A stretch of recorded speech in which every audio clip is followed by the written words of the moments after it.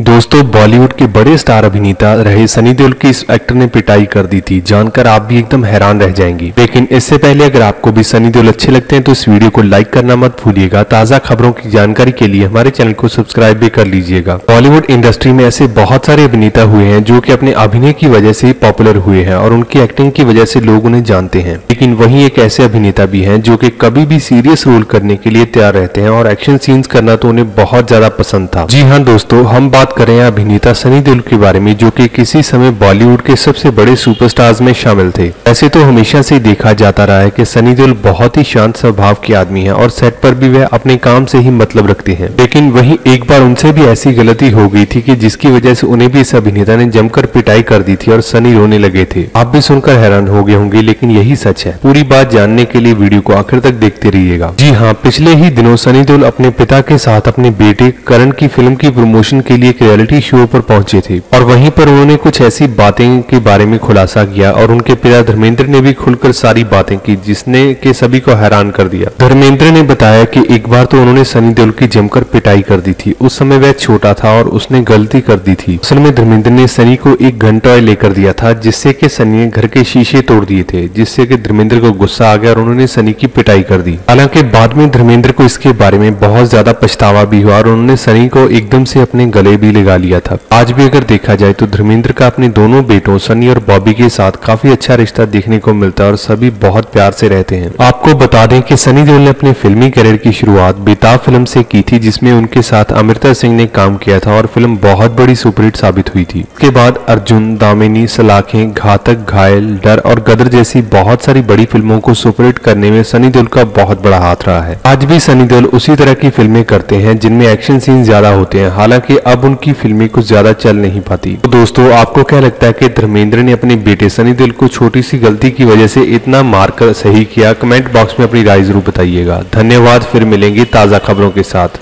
अगर आपको यह वीडियो अच्छी लगी तो प्लीज़ इसे लाइक करें और शेयर करें। दुनिया भर की वायरल बात जानने के लिए हमारे चैनल को सब्सक्राइब करें।